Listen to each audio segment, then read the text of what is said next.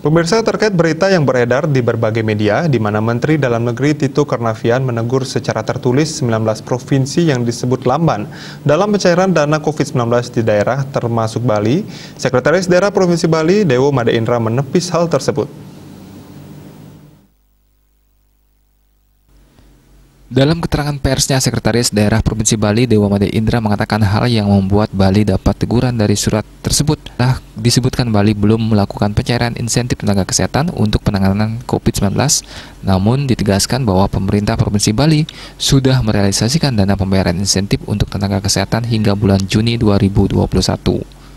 Sekda Dewa Indra juga menekankan bahwa untuk realisasi pembayaran insentif nakes penanganan COVID-19 Provinsi Bali tersebut dari anggaran sebesar 47 miliar 17 juta 500 ribu. Sudah direalisasikan sampai bulan Juni 2021 sebesar 22 miliar 851 juta 785 ribu 891 atau dengan persentase 48,60 persen, sehingga seharusnya jika mengacu pada realisasi tersebut Provinsi Bali tidak seharusnya masuk ke dalam surat teguran dari Mendagri tersebut. Dan realisasi ini sudah dilaporkan secara tertulis kepada Menteri Keuangan dan Menteri Dalam Negeri per 7 Juli 2021.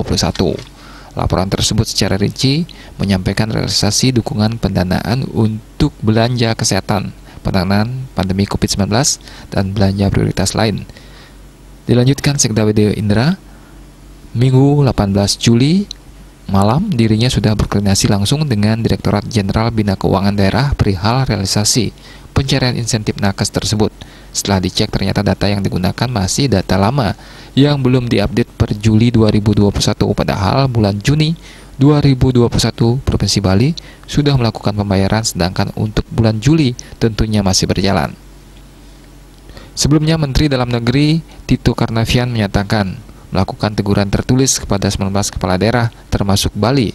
Provinsi Bali disebut belum melakukan realisasi insentif tenaga kesehatan daerah yang bersumber dari refocusing 8% DAU DBH tahun anggaran 2021 yang dianggarkan APBD tahun anggaran 2021 sebesar 25 miliar. Humas Pemprov Bali melaporkan.